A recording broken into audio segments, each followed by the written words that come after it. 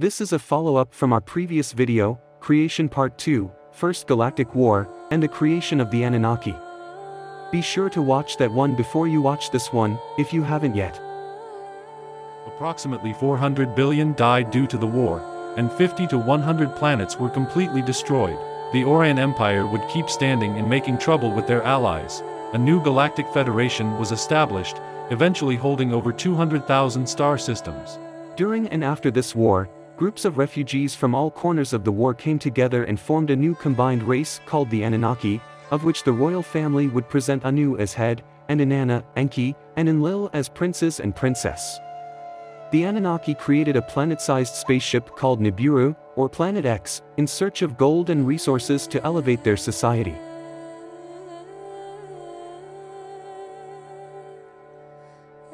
Eventually, they entered our solar system, where Nibiru would pass the Earth every 3,600 years.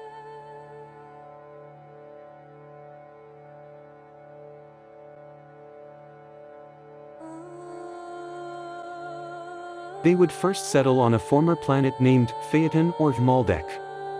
Only a few million years later, they would get in conflict with the beings from Mars. These beings eventually found a way into the nuclear stock of Maldek and set it to blaze. The whole planet would explode, some of the Anunnas managed to escape to our moon, where they settled for some time.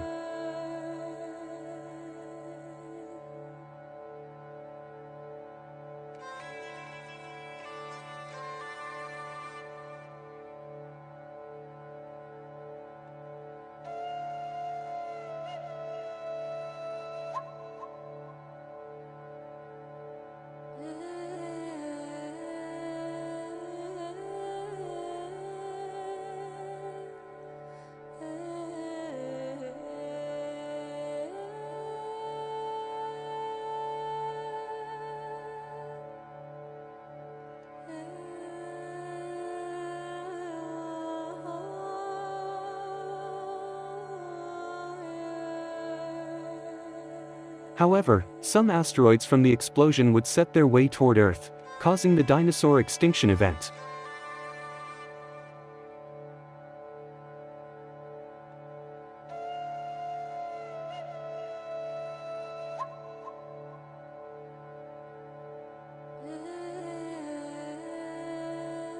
But not long after, a massive solar flare erupted, destroying their moon base. Again, some managed to escape, although they were few.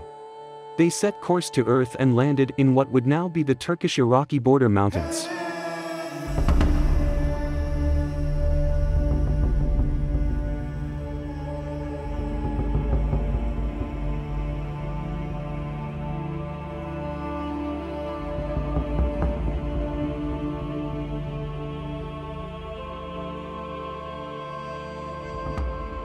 Now crash-landed on this planet, they struggled and needed a way to repair their ships. They didn't know what to do at first. But one of the wise advisors told them they could repair their ship using gold. The same gold as they would need for their home planet, this was to be a lot of gold, which they couldn't possibly mine and process by themselves. And so Enki, as the group's head scientist, was tasked to create a newly evolved species from this planet to mine the gold for them. Enki did this by manipulating and changing our DNA structure, which we now know as chromosome number 2. Which is a fuse of our DNA with the Anunnaki's one. Today, thanks to this DNA fusing, our DNA holds a vast library of almost all our galaxy's alien species information. At first, we were enslaved and treated like animals,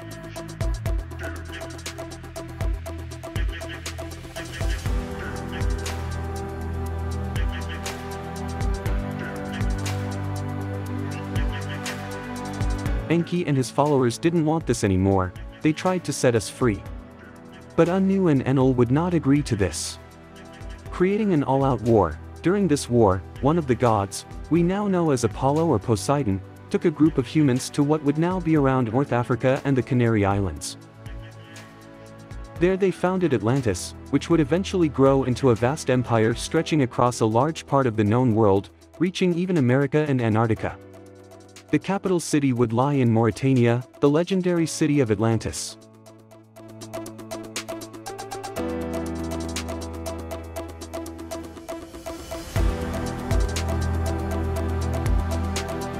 A little bit after this, another being Ouroboros, would take another group from Mesopotamia and create Lemuria's empire. Eventually, Atlantis and Lemuria would come to blows. One of the gods on Enlil's side gave them the technology for nuclear weapons, which would become their downfall by accident. Not long after, by most likely another solar flare that hit the Earth, all ice caps would melt at once, creating a global superflood around 12,000 years ago, wiping out almost all of existence on this planet. Except for Enki and his followers, the Anunnaki managed to get away and run to their home planet slash ship Nibiru. If you want to know more about the Anunnaki's time here on Earth and about Atlantis, you can find some links in the description of this video. What remains of these great civilizations, we find in ruins all over the world, with the remains of the famous capital, the legendary city of Atlantis, can now be found in Mauritania, a place known as the Richat Structure. We also made a video about this on our channel, which the link will also be in the description. The structure looks exactly like how Atlantis was described. Let's take a closer look at it. When we use the flood map, we can see that this also would correspond, and the location of where the structure resides would be on the edge of an island, which looks almost the same as how the island of Atlantis would be described. But as we know, those civilizations were destroyed with no remains by the flood. At least, that is why we think, the Atlanteans created a colony, Meroe or Meroe, now known as Egypt. We know this because the Egyptians were the ones who first spoke of Atlantis, but how would they know? Egypt resided after the Great Flood? Well, wrong, again. Egypt was a colony of Atlantis, which existed long before the flood. Evidence of this is when we look at the Sphinx and the pyramids, where we can discover erosion. Still seeing the marks, the decline had to be from water, which would be strange because they stand in the middle of a desert. Proving again that there was a great flood. And the legacy of the Anunnaki's time here on Earth and the Lemurian and Atlantean Empire, we can thus find in religions and folklore around the whole world. And with that ending this video, in the following video, we will talk about what happened after this cataclysmic event, and the Second Marsian War.